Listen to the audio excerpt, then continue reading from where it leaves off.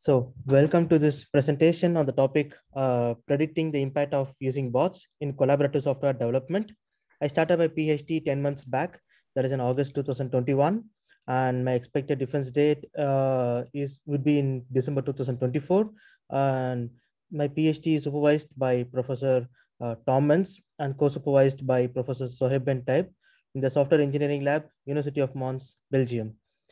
So here before going into detail much, I'll give I like to give an introduction of social coding platforms and the usage of them. So here we can see an example of a social coding platform, GitHub, and here we can see the the developers can have issues with the software packages, and then we can also have some pull request uh, given by the contributors.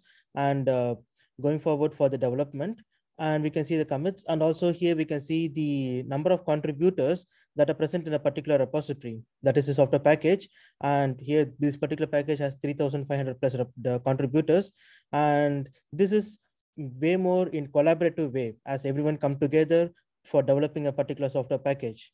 So this collaboration would happen in uh, the software artifacts such as code, uh, writing the code, accepting, merging pull request, raising issues, finding bugs in them, so code testing and code code coverage analysis and so on. But when this becomes big uh, especially in bigger software projects this becomes more uh, more workload for the developers.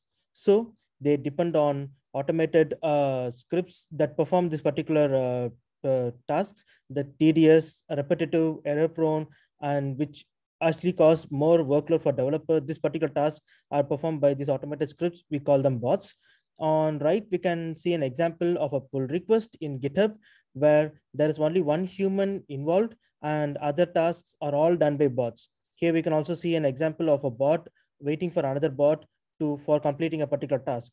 So bots and human developers work hand in hand for developing software in a very collaborative and efficient way. But when develop when researchers and practitioners, when they want to analyze the usage of bots and when they want to credit the human contrib best contributor the best highest contrib highest human contributor then this becomes a problem as bots are also involved in collab in development. So here we we went ahead i mean the, the in the literature we found there are bot identification tools and the tools that uh, we see here are the current state of their techniques in uh, different ways. First tool that that i found was with BIMAN that is bot identification using GitHub commit messages, author names, and files associated with the commit. They filtered, uh, they they perform based on pattern and uh, get the get the predict whether the commit whether the account is a bot or a human. BoDeGHa is a tool developed in my software engineering lab by uh, an author by the author Mehdi Golzadeh and the team.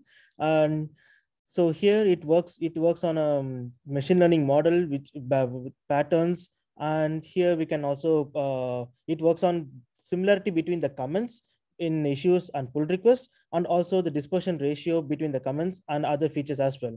BoDeGiC, which is another, which is which is the same version as BoDeGHa, but works on Git commit messages. And Bot Hunter, it's a, a latest tool that is that was published in 2022. It works in the combination of BIMAN and BoDeGHa, and they also worked on with uh, feature selection, and they found which features that could be useful for us to consider in classifying whether account is a bot or human. So my first step was to uh, was to learn how these bot detection tools are working and how bot identification is exactly happening in the domain. And then I thought, okay, uh, I can contribute a bit more, and this led this led to me uh, publish a few uh, few papers in uh, workshops and uh, special issues. The first one, leveraging predictions from multiple repositories to improve bot detection. So I here I took one of the state-of-the-art technique performed performing tool, BoDeGHa, which is developed in my lab, and I found the main limitation of BoDeGHa that we have here is uh, BoDeGHa works on repository level, individual repository level. And so if a particular user is perform is having a human-like behavior, BoDeGHa would predict the particular contributor is human. And in the same account in a different repository, they can uh, exhibit a bot-like behavior. So it will predict as bot in another repository. So this creates some confusion. So here, what I did was to I completely um, leverage the prediction the, the set of repositories that I'm considering for analysis, so that I have one prediction for the account that I'm considering in the set of repositories. And this uh, through this, I found that uh, leveraging the leveraging predictions is mainly um, based on majority uh, class that belongs to.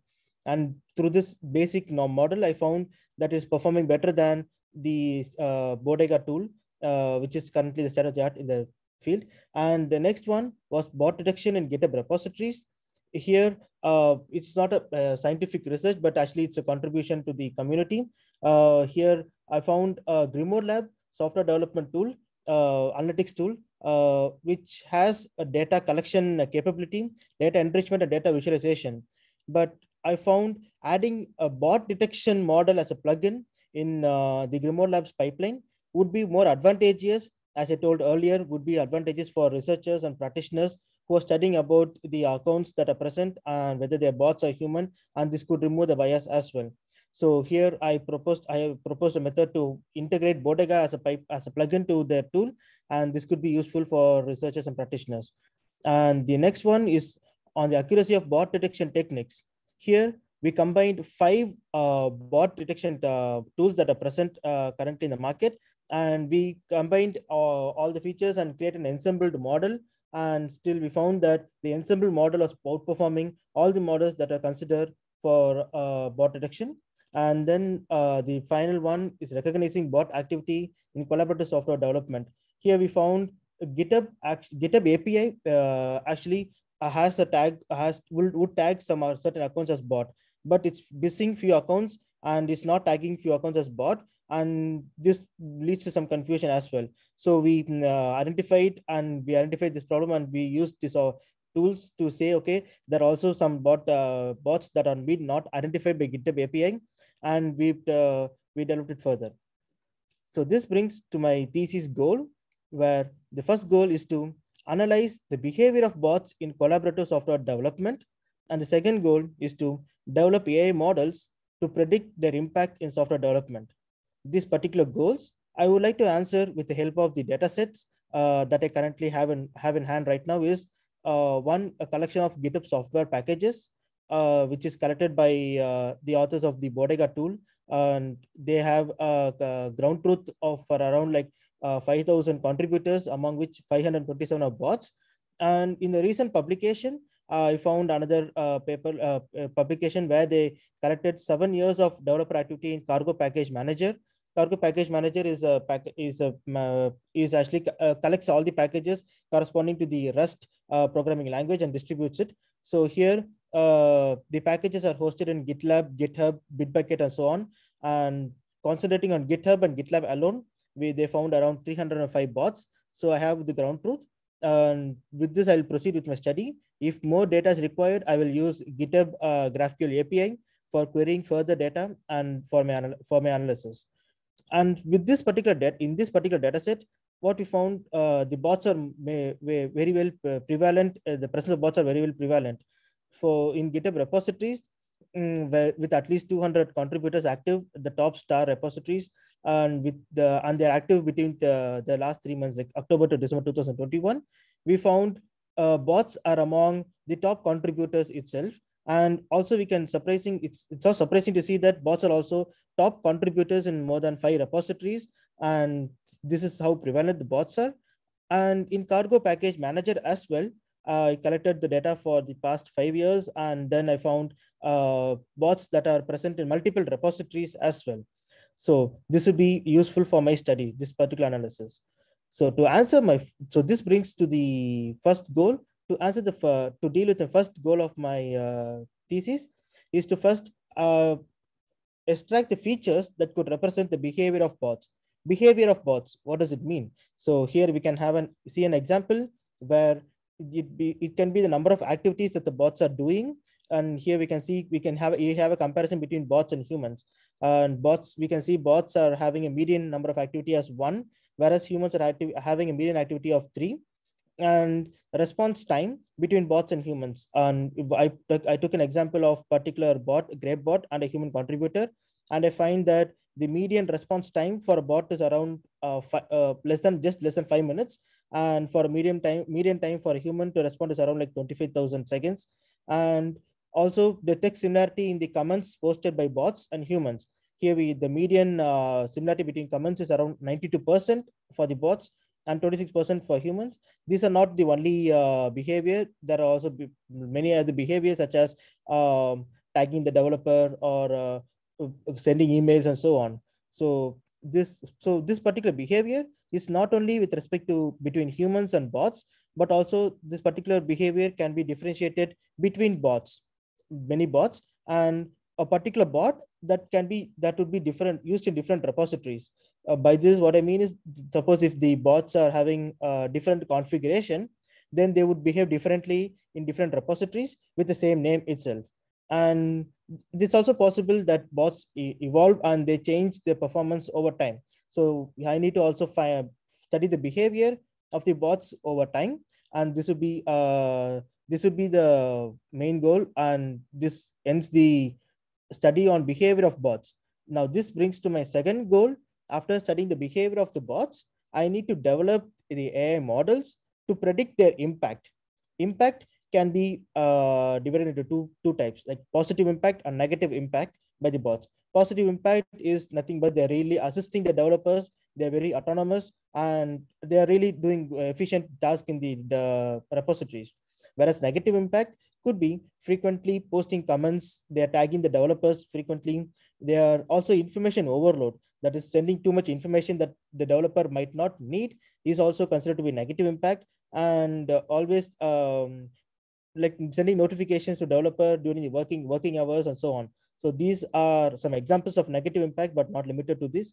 And so after uh, I'll after this understanding, okay, what are the impacts and what are the behavior and well, and to understand the behavior, uh, the link between the behavior and the impact, I will I will go to the developers community and conduct with the help of surveys. I will ask them what do they really uh, consider uh, like negative which behavior they consider as negative impact which behavior as positive impact and which one actually uh, they don't consider actually they don't even consider as a behavior to measure impact so i'll reach out to the developers community to do this and in the survey i that would be a form of a questionnaire and here i would uh, give a magnitude so that they can so that the the developers can rate like between a percentage of uh, impact. Instead of just being like binary of positive or negative having a magnitude would be very useful to know which bot is having how much percentage of positive and how much percentage of negative impact in their developers. And to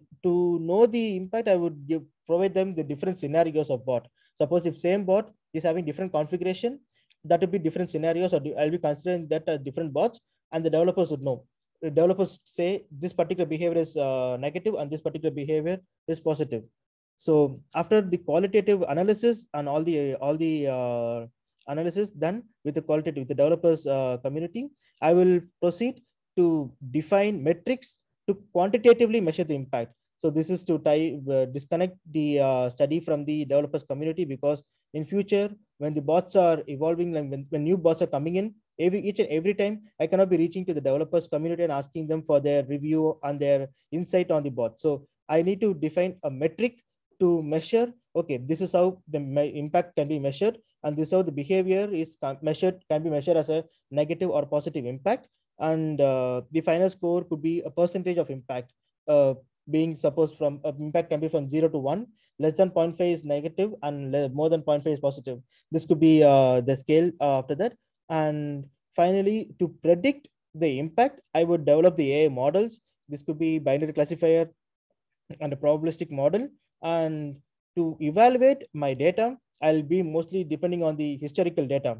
That is i'll go back in time. For example i'll go to december uh, uh, january 2020 and from there I will say, okay, I'm going to predict what is the what is the impact. And being in January 2020, I will know uh, what is the real impact that is created. So by this, I can evaluate what is the uh, how and evaluate and improve the performance of my models.